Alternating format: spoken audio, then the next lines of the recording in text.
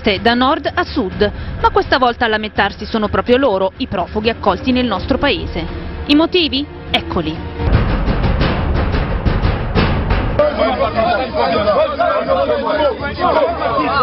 A Verona, nella frazione di Avesa, i profughi ospitati nella tenuta di Costa Grande hanno occupato la strada statale.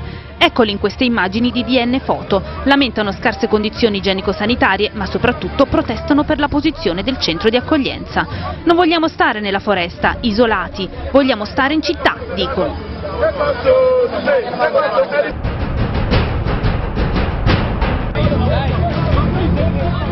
A Sassari stesso problema, i profughi vogliono stare in città. Il centro di accoglienza di Palmadula proprio non va bene a questi 94 ospiti che hanno protestato in strada fino all'arrivo delle forze dell'ordine.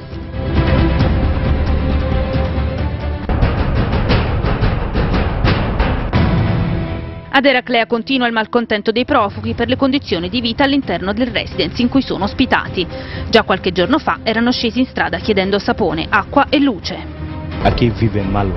Comida no es mucho, para, para, para tomar agua no es mucho.